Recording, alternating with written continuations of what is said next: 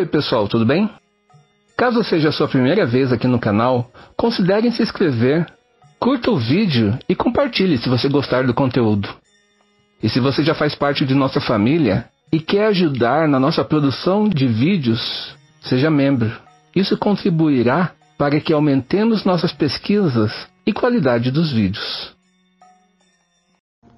Sanjaya disse: Meu caro descendente da dinastia Kuru, eu não tenho informações sobre o que teus dois tios e Gandhari determinaram.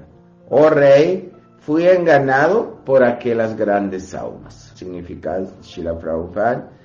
Pode ser surpreendente saber que grandes almas enganem os outros, mas é um fato que grandes almas enganam os outros por uma grande causa. Afirma-se que o Senhor Krishna também aconselhou Yudhishthir a dizer uma mentira diante de Dronacharya, e isso também foi por uma grande causa. O Senhor queria isso e, portanto, era uma grande causa. A satisfação do Senhor é o critério para qualquer pessoa de boa fé. E a máxima perfeição da vida é satisfazer o Senhor através de nosso dever ocupacional. Esse é o veredito do Gita e do Srimad Bhagavatam. Dhritarashtra e Vidura, seguidos por Gandhari, não revelaram sua determinação a Sanjaya, embora este estivesse constantemente com Dhritarashtra como seu assistente pessoal. Sanjaya jamais pensou que Dhritarashtra pudesse executar algum ato sem consultá-lo. Contudo, a partida do lar por parte de Dhritarashtra foi tão confidencial que não pode nem mesmo ser revelada a Sanjaya.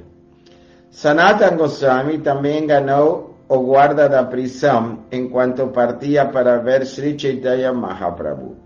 E de forma similar, Raghunath Das Goswami também enganou seu sacerdote e deixou o lar para sempre, para satisfazer o Senhor. Para satisfazer o Senhor, tudo é bom, pois isto está em relação com a verdade absoluta. Tivemos também igual oportunidade de enganar nossos membros familiares e deixar o lar para nos ocupar no serviço ao Srimad Bhagavatam. Tal enganação foi necessária, em favor de uma grande causa, e ninguém saiu perdendo com essa fraude transcendental. Tradução novamente. Sanjaya disse, meu caro descendente da dinastia Kuru, eu não tenho informações sobre os teus, o que teus dois tios e Gandhari determinado. O rei, fui enganado por aquelas grandes almas. Sanjaya está falando.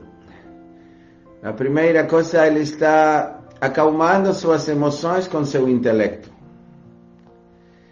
Ele está acalmando, ele diz aqui que com sua inteligência acalmou suas lágrimas e suas emoções. Isso é necessário. Hum? Krishna revela Buddhi Yoga, Arjuna no começo do Bhagavad Gita. Buddhi Yoga. Arjuna estava numa situação também muito aflita. Seu arco Gandiva tinha caído da sua mão. Sua cabeça estava dando voltas, não parava. Brahmativa chamei Manaha e as lágrimas, né, estavam também caindo. Então ele não tinha nem força para segurar seu arco. Uma situação assim para o maior guerreiro do mundo, indescritível. Então Krishna iluminou o intelecto de Arjuna com o Bhagavad Gita. Então esse é o primeiro verso e uma coisa muito, um assunto muito interessante é a devoção que Sanjaya tinha por Dhritarashtra. Às vezes eh, dice, colocamos Dhritarashtra como rei mau, a pessoa ruim, mas não. Dhritarashtra só tinha sido influenciado, controlado pedir por sua fraqueza. Quem era realmente destrutivo era Duryodhana, não era Dhritarashtra. Mas mesmo assim, também Dhritarashtra enganou os Pandavas antes, quando colocaram, fez um palácio para eles, e esse palácio era tudo feito com um material altamente inflamável. Mas também Vidura les ajudou e eles enganaram Dhritarashtra porque fugiram por um túnel. E Dhritarashtra e Duryodhana pensaram que estavam todos mortos, os Pandavas, e celebraram que agora eles eram os reis do mundo. Mas depois os Pandavas apareceram. Aqui temos várias histórias Este assunto foi tão confidencial, diz Prabhupada, Shila Prabhupada diz que este assunto era tão, tão confidencial que nem o secretário pessoal que tinha tanta devoção por Dhritarashtra podia saber, poderia saber. Porque se ele soubesse e Yudhishthira soubesse, eles iriam correndo a buscar Dhritarashtra e Gandhari. Imaginem, imaginem vocês um rei cego com uma esposa cega, porque ela fez o voto de não olhar, desaparecendo pelos Himalaias, pelas florestas, né? Saindo de um, de um palácio, saindo de um lugar com todos os confortos e proteção e segurança e alimento, para ficar, não se sabe por quanto tempo, perdidos numa floresta. Claro, Vidura estava junto. Desta vez não era Sanjaya, era Vidura.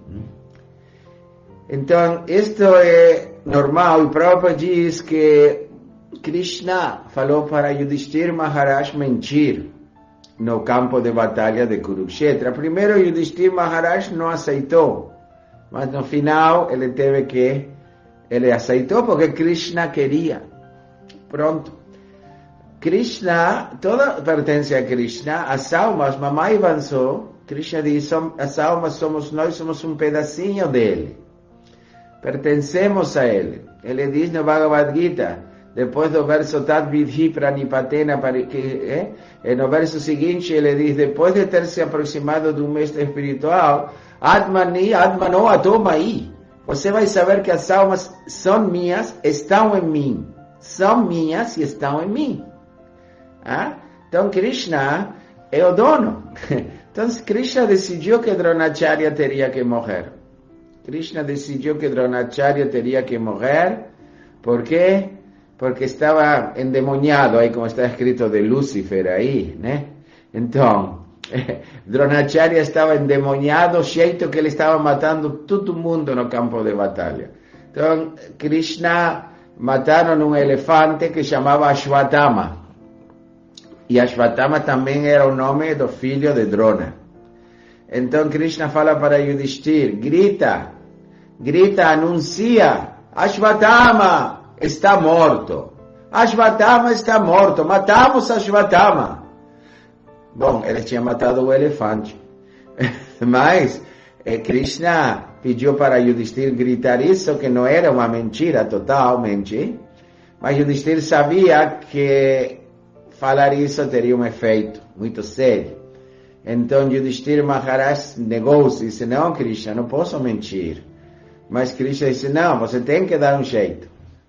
É, alguns textos dizem que a quadriga de Yudhishthira Maharaj, que nunca tinha tocado o chão, porque ele argumentou com Krishna e ele não quis seguir Krishna, diz que a quadriga tocou o chão, desceu um pouquinho.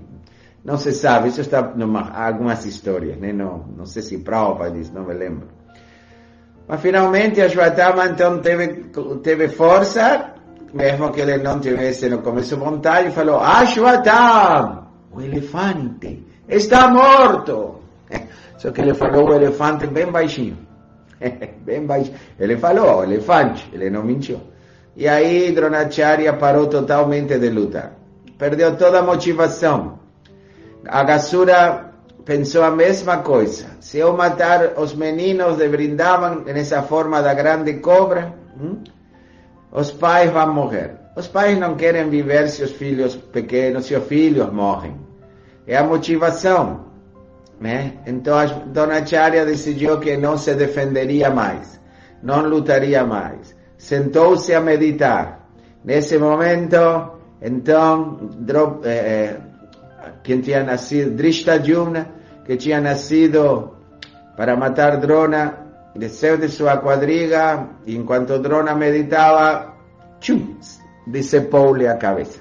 Bem, então nós temos histórias, essa é a primeira. Krishna quis E o Bhagavatam diz Prabhupada, afirma isto. Atapumbir Dvishashreshta Varnashrama Vibhagashaha Swanushtitasya Dharmasya Samsidhir Samsidhir Hari Toshanam. Tosha significa satisfazer. E Varnasham significa que nós temos nossos deveres a serem feitos. E nossos deveres são de acordo à nossa natureza. Alguém é intelectual, alguém gosta de plantar, é agricultor, alguém precisa administrar, é lutador, guerreiro, e alguém ajuda todo mundo. Então, essa natureza, não se pode ir contra a natureza da pessoa, por isso chama natureza, é natural. natural. Então, a Hari Toshanan, nós satisfazer Hari, Krishna. E Krishna pediu para fazer isso. Krishna pediu para Yudhishthir, faça isso. Então, se Krishna pediu, né? Claro, às vezes Krishna colocava, é, colocava em dilema e a pessoa tinha que decidir, como no caso, quando Bima queria matar Ashwatthama, esse Ashwatthama que realmente é, o filho de Drona era complicado, né? Ashwatthama decapitou cinco meninos de Draupadi, príncipes os filhos dos cinco pândavas, enquanto dormiam. Então Ashwatthama foi condenado a vaguear pelos Himalaias eternamente, porque Krishna ficou tão chateado com ele, tão chateado que disse, segundo Mahabharata, claro, que ele nem reencarnaria para, para purificar de seus pecados e continuar seu, seu caminho. Imagine, Deus. Então, também Krishna, numa ocasião, eh, Draupadi queria perdoar Ashwatthama, Bhima queria esmagar a cabeça de Ashwatthama, matá-lo imediatamente, como Bhima era, e Draupadi gentil e suave, que Prabhupada diz, vamos, né, mais, uma dama gentil dizia, não, ele é o filho de um Brahmana, e esse Brahmana foi nosso guru, como vocês vão matar o filho de nosso guru?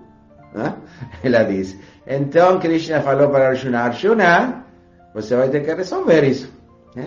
Mas aqui em Kurukshetra, na batalha, foi uma instrução direta. Direta. E Prabhupada menciona Sanatan Goswami.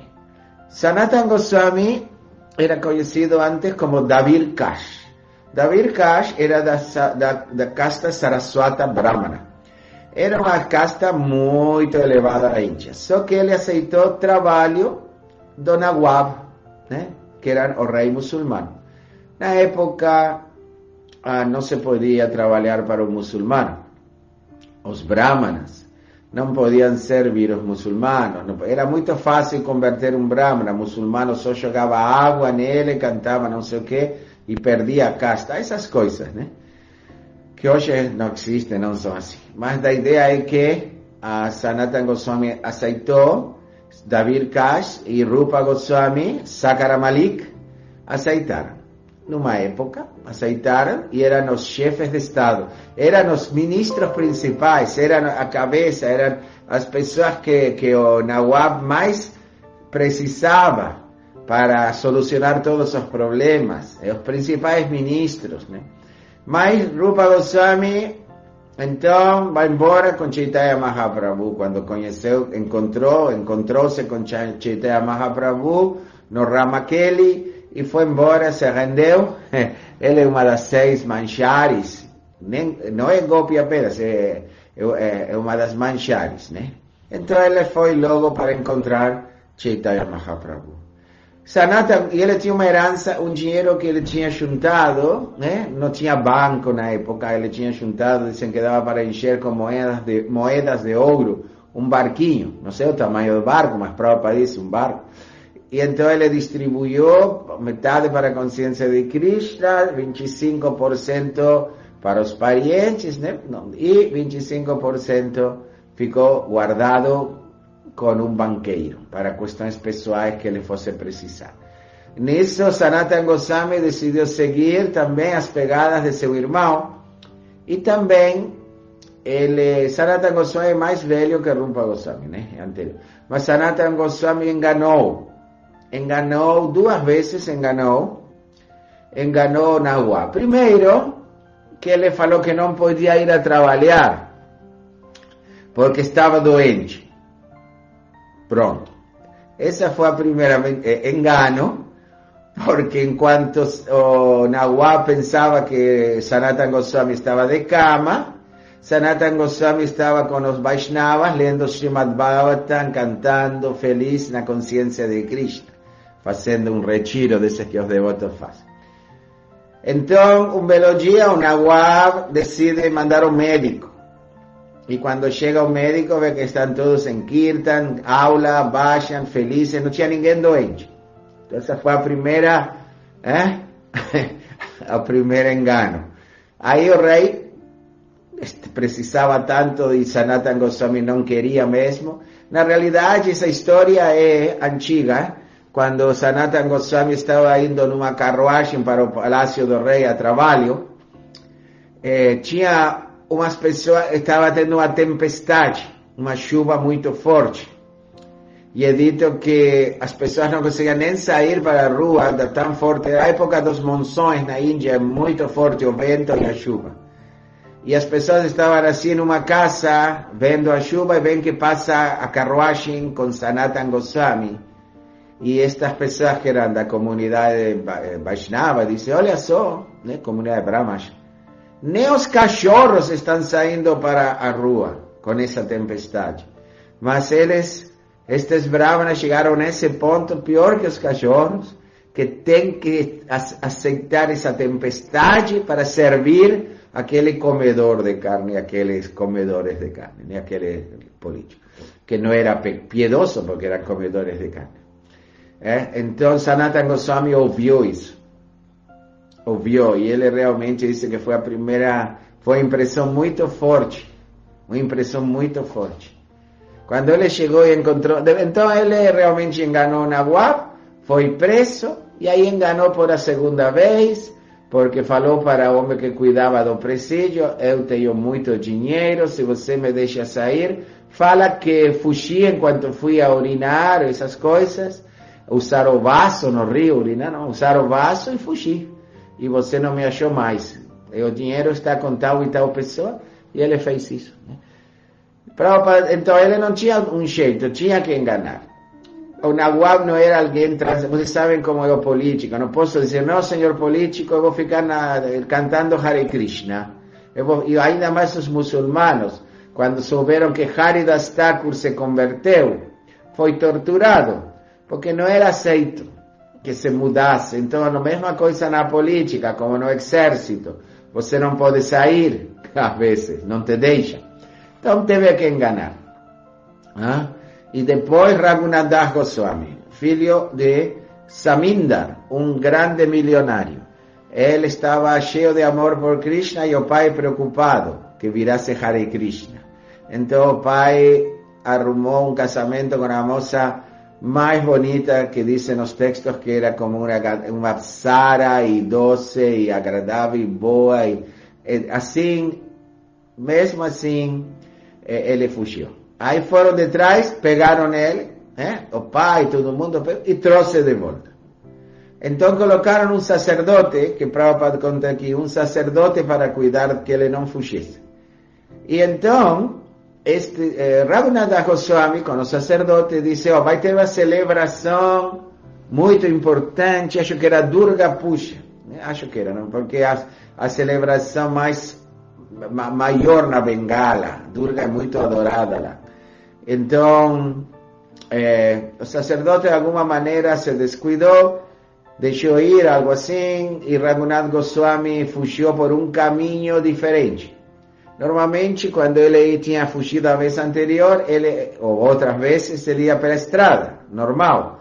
Mas desta vez foi pelo meio da floresta. Perigoso, assim como gritar, mas ele foi. Depois o pai viu que não tinha jeito, porque ele, ele sempre enganaria o pai, que era um milionário na época, e decidiu mandar dinheiro. E Raghunath Goswami, com o dinheiro que recebia do pai, fazia festivais de prasadam para os devotos, para os Vaishnavas. Festivais. Os melhores gulab jamuns, as melhores samosas e tudo com muito ghee, tudo muito opulento. Mas depois pensou, depois de um tempo, não, eu não devo aceitar dinheiro de meus pais. Sou materialista, vou mendigar. Aí ele foi mendigar ao templo de Jagannatha e comia o que as pessoas, o dinheiro que davam, depois não quis nem mendigar e comia o arroz que ficava na lixeira. E essa história acho que já contei. E Prabhupada conta então sua própria história. Eh, Raghunath Goswami não podia sair, Sanatana Goswami não podia sair voluntariamente, Dhritarashtra ninguém ia deixar ele sair voluntariamente, mas eles tinham que fazer isso. Srila Prabhupada tentou fazer de sua vida familiar, pelo que diz Solilambrita, né? um centro de pregação, né? na Mahata. Ele convidava as pessoas e ele era muito ativo né? em pregar. Inclusive, eh, Sridhar Maharaj sempre visitava a casa de Srila Prabhupada. Era muito amigo. Prabhupada tinha uma casa de três andares. Não é que Prabhupada pagava um aluguel de uma casinha. Ele tinha uma casa de três andares. Ah, três. Então, ainda está a casa em Calcutá, se pode visitar, perto do templo Radha Govinda. Então, quando Siddhar Maharaj ia pregar, ele ficava num dos andares de Shila Prabhupada, da casa de Shila Prabhupada. Prabhupada tinha farmácia embaixo, ah? Siddhar Maharaj e a, e a esposa, a família, depois também ficavam acima, na casa. Enfim, a Prabhupada tentou, trair, os devotos da Gaudia vinham, eh, Prabhupada era o melhor para coletar, quando se precisasse que os grihastas eh, que guardavam dinheiro para coisas boas e bonitas dessem esse dinheiro para a consciência de Krishna, mandavam Prabhupada. Prabhupada, os irmãos sabiam que Prabhupada convence as pessoas. E ele convencia as pessoas a dar o dinheiro. E realmente, vejam a opulência do planetário em Mayapur. Ah, veja se Prabhupada não, não, não foi sempre empoderado para usar Lakshmi, não importa em que bolso estiver guardada, usar Lakshmi para o serviço de Krishna. Onde vocês vão em Mayapur, as Gaudias têm templos muito bonitos, mas os projetos não são planetários, Samadhi, tudo é, é, é, é, monumental, não existe isso. Não existe, né? E tudo, Prabhupada, ah, com o dinheiro dos devotos, ah, com o dinheiro eh, que os devotos do mundo todo davam para realmente foi a melhor maneira de usar o dinheiro qualquer no futuro quando o planetário já está Maya por brindavam as milhões de pessoas vão vai sair um filme 31 de agosto, onde o presidente, o ex-presidente, atores de Bollywood, ministros, tudo falam do que Prabhupada fez foi tremendo. A contribuição de Prabhupada foi tremenda, dizem. E isso não é só na Índia. E nós podemos, tremenda de impressionantemente grande, né? e de impressionantemente opulenta. E Prabhupada, quando chegava, morava numa cabana muito pequena, ainda está, em Mayapur, e quando Prabhupada foi visitar eh, Gorgovinda Maharaj em Orisha, em Bhubaneswara, era um campo com uma cabana de palha, e dizem que Prabhupada ficou lá semanas e semanas muito feliz. Não queria nada. Ah, Prabhupada. Então, então nós temos isso como uma história de Chanak. Mas para Krishna, o planetário. Para Krishna, o planetário. Então, eh, Prabhupada não podia sair da casa tão facilmente também. Ele queria, ele podia, mas ele tinha eh, esse sentimento de, né, de que tem de, de, de, proteção da família, de cuidar da família, mas ele queria que a família participasse da consciência de Krishna. E a esposa, pelo que dizem, né, não participava. Dizem que vendia o manuscrito do Bhagavad Gita, que trocou por biscoitos, enfim. Disseram no Lilambrita, né? Não sei se, onde, se Prabhupada diz, mas eh, onde Prabhupada diz, mas realmente deve ter, sim, essas, essa, isso, Satsaru Maharaj pesquisou, escreveu Lilambrita, não é isso? Eh, então Prabhupada sempre saía para fazer negócios, mas ele estava sempre lembrando a instrução de Seguro Maharaj. A instrução de Seguro Maharaj foi de escrever livros e pregar no mundo, pregar no ocidente. Né?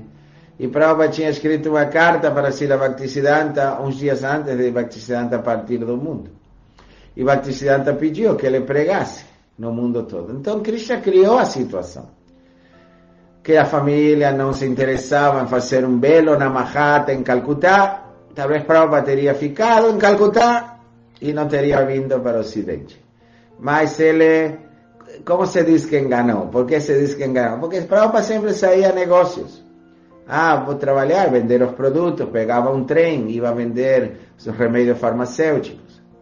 Então, ele sonhou que Bhaktisiddhanta Saraswati Thakur lhe disse, tome sannyas. E ele acordou apavorado.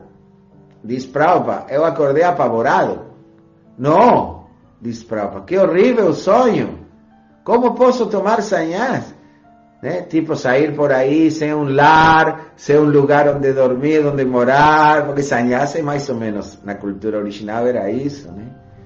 E, e Prabhupada teve o sonho outra vez. Bhaktisiddhanta apontava com o dedo e falava, você, tome sannyas, falava assim, instru, instruindo.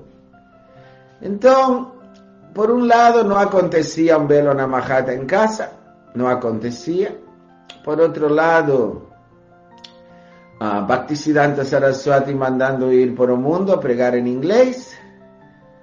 Então, simplesmente é Prabhupada, que já estava acostumado a sair para vender e fazer negócios, um dia saiu. Todo mundo pensou, aí vai ele, vai fazer os negócios, daqui a um mês está aqui. Nunca mais voltou. Não pense que foi fácil. A Lilamrita conta que Prabhupada ficou muito tempo cantando 24 horas por dia Hare Krishna. Prabhupada tinha um senso de dever tão grande que. E Prabhupada diz no final agora do significado: ninguém saiu perdendo. Ninguém. Ninguém. Prabhupada convenceu depois, não convenceu, mas Tamal Krishna Goswami, o GVC, compraram um apartamento para o filho, brindavam de, a mãe também ficou com um dinheiro, a, a ex, esposa, ex de Prabhupada, a, a mãe de de, recebia um bom dinheiro para que não lhe faltasse nada, nada.